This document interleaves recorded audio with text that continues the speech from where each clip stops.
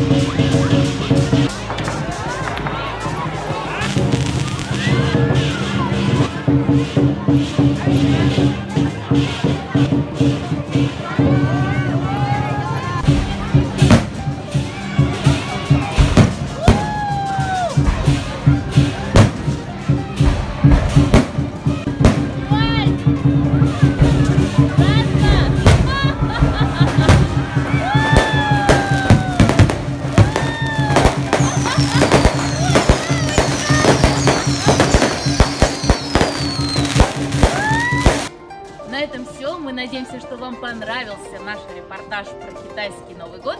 Ставь лайк и подписывайся на наш канал. Ненавижу. До новых встреч!